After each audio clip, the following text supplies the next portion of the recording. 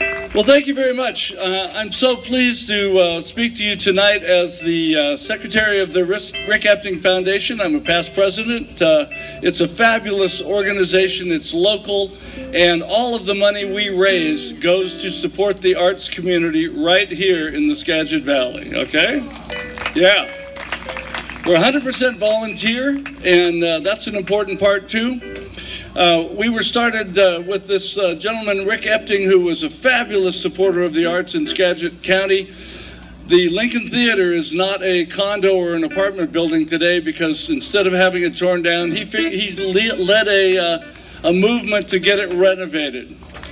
Yeah. He led a movement to keep the nuclear power plants out of the uh, upriver. How about that? That was a good one too, right?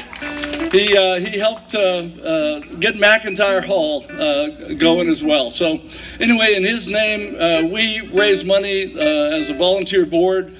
And as an example, and I want to insert a name here, which is Craft Stoves. They're a great local supporter of us and the community. And as a result of their contributions, we have raised $4,000 in raffles and, and through raffles and so forth that have gone out to our local music programs. Uh, we have, uh, in the last year's time, uh, put $2,500 into La Conner and Anacortes uh, music programs and, uh, and $1,500 into uh, Burlington Edison. And the reason we do that is that there are a variety of kids that are not able to take band in school, and the reason is their parents can't afford the music instrument rental. So that's uh, one of our uh, real emphasis points this past year.